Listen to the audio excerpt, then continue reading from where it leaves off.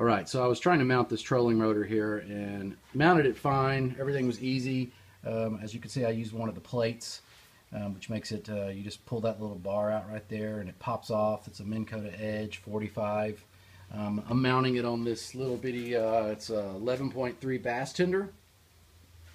Shouldn't be a big deal, but it was because there was some wiring that was going on here. And I'm also trying to um, run cables for my uh, depth finder. So, uh, ran into some big problems. So all the cables were breaking um, as I was trying to pull them through right there in the joint.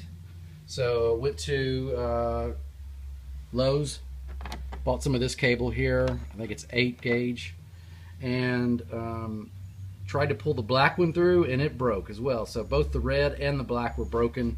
They come out right there where they feed to the battery.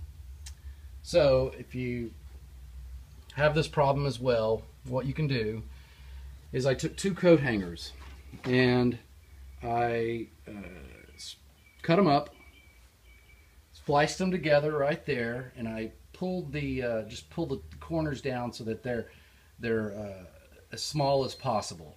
All right, and I had these two coat hangers run together, and then on the end there I taped all the cables that I need plus one extra um, to the end of this. And I, I taped the smallest one first, and then I taped the black one, and then the red ones after that.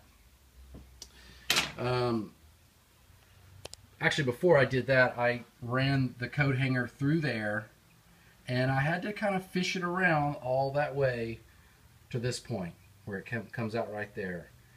Um, and then once I had it fed all the way through, I pulled it out of the little hole to the right, and then I tied all the, or I taped all the cables to this end using some just standard electrical tape, and it it pulled through. There was a joint right there, or a point right in the corner there, where I guess there's some styrofoam under there where it was breaking. It wouldn't just come out. So um, that's the way you can do it. Again, just take two uh, coat hangers. You want somewhat heavy duty ones.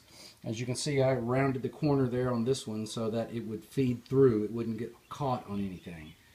But nevertheless, now I can um, uh, just splice my wiring together here with my, uh, my little connector there. And uh, I mount that right there over that hole that this I didn't do that hole. This I bought this boat used so I'm trying to get it back to being uh, an awesome boat. So uh, that's it. Hope this helps